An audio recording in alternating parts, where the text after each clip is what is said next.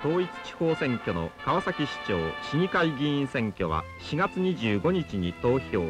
翌26日開票が行われ伊藤三郎氏が初当選し川崎市長に選ばれました。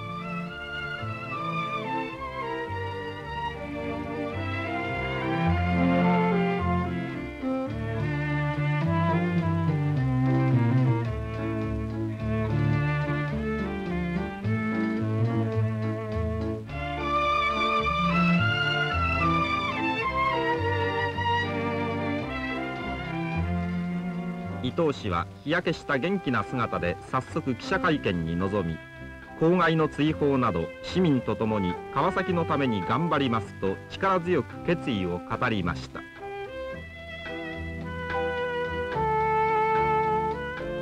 そして5月1日大勢の市民や職員に迎えられて初登庁。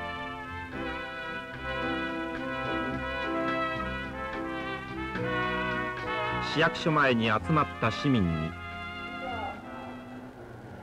川崎市民にとって最も緊急の課題は郊外の町川崎というその汚名を暮らしの町川崎の価値に作り変えることにあると思うのであります。